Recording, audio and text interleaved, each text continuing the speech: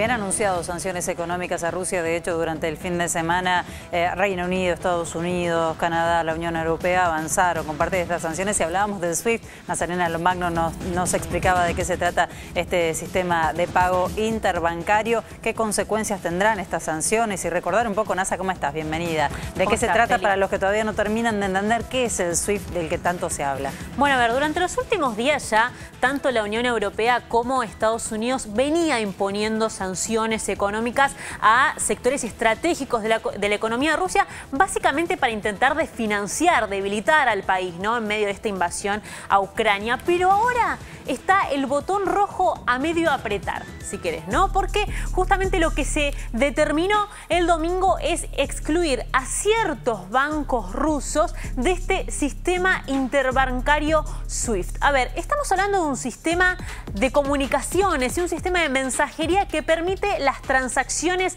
bancarias. ¿sí? O sea, si una empresa quiere eh, exportar servicios y, generar transacciones comerciales, tiene que atravesar justamente un banco y para eso, para recurrir a este banco, este banco para hacer la transacción tiene que recurrir a este código SWIFT. Sin este código, la plata no va a ningún lado. Ahora, ¿qué pasa con esto? Al excluir a, determinados, a determinados bancos rusos del sistema SWIFT, lo que permite justamente es la exclusión tanto de las exportaciones de Rusia hacia el mundo, como también de las importaciones. los países que sancionan también se perjudican. Los países que, en que, hacen estas sanciones también se perjudican, pero te diría que sobre todo Rusia, porque es quien queda excluida.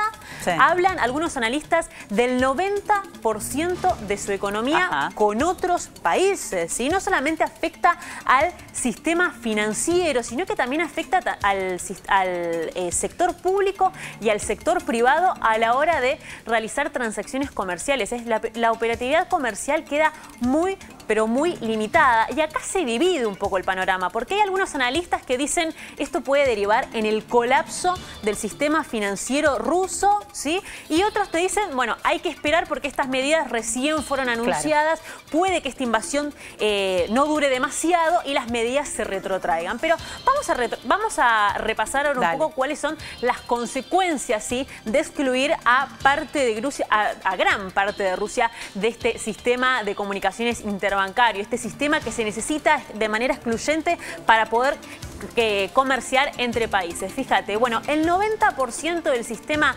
bancario ruso inoperativo, ¿sí? es decir, bueno, por fuera de Rusia el 90% del sistema bancario y las principales empresas eh, exportadoras quedan eliminadas ¿sí? de poder comercial a nivel internacional. Y acá tenemos un punto, ¿sí? cuando hablamos de empresas exportadoras, cuando hablamos de servicios, eh, de recursos, ¿sí? mejor dicho, que Rusia termina exportando, no podemos no hablar del gas. Y ahí me parece que eh, la exportación del gas es uno de los elementos centrales, uno de los, uno de los elementos limitantes ¿sí? a la hora del avance de Rusia, pero también sobre todo de la Unión Europea en las sanciones económicas y financieras. ¿Por qué? Porque la Unión Europea importa el 90% del gas que usa. Bueno, prácticamente la mitad viene de Rusia. Entonces, si bien al menos de momento, las, las, sanciones económicas no implican justamente la restricción del gas, del petróleo y de otras materias primas, la pregunta es, bueno, ¿hasta cuándo, hasta dónde realmente no están implicadas, teniendo en cuenta Impactan las operaciones, claro. en las cotizaciones seguro, pero ¿hasta dónde, hasta cuándo no impacta realmente en, las, en, las, en, el comercio ¿sí? de estos recursos naturales tan esenciales para Rusia, teniendo en cuenta que, nuevamente, el 90% del sistema bancario ruso queda inoperativo por fuera de Rusia y las principales empresas exportadoras también. Bueno, y un poco de los efectos, ¿no? A la hora de hablar de esta exclusión del SWIFT. Bueno, el Brent, tomamos esta referencia para hablar del precio del petróleo a nivel internacional, vuelve a subir, vuelve a pasar los 100 dólares, ¿sí? La barrera de los 100 dólares. Volvemos a lo mismo, bueno, la suba de la soja que llega nuevamente a los 600 dólares por tonelada, el trigo supera los 300 dólares, el maíz los 200 dólares, casi llegando a los 300. ¿Por qué? Bueno, porque son todas materias primas que Rusia exporta exporta y hoy la oferta de tanto del gas como del petróleo, como de la soja y el trigo, el maíz, se pone en juego, ¿sí? Porque no se sabe hasta qué punto las sanciones económicas o financieras pueden efectivamente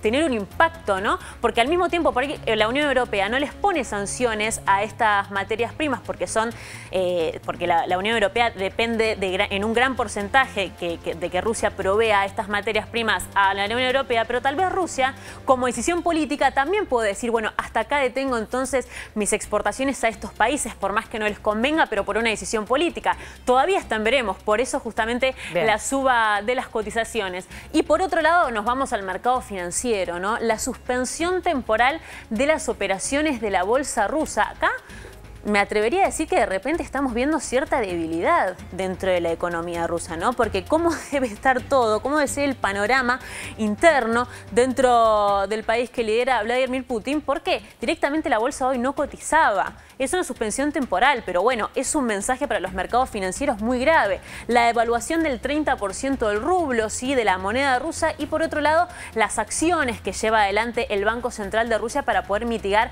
el efecto en su moneda y en los mercados que tiene que ver con, bueno, la típica, ¿no? La suba de interés del Banco Central de Rusia del 9,5%, pero fíjate hasta cuánto va, ¿no? Hasta el 20%. es una suba bastante considerable en un contexto eh, de incertidumbre donde la realidad geopolítica a partir de las negociaciones que recién comienzan, bueno, va cambiando minuto a minuto, pero eh, ya te digo, hasta ahora las consecuencias económicas que no se sabe hasta cuándo durarán de quitar parcialmente al Rusia de SWIFT son graves, tanto para Rusia pero también para la Unión Europea porque se quedaría sin un gran jugador para abastecer eh, a los europeos de recursos naturales esenciales para la vida. NASA, volveremos a hablar de esto. Gracias, Nazarena Lomagno, con la mirada de economía sobre este conflicto.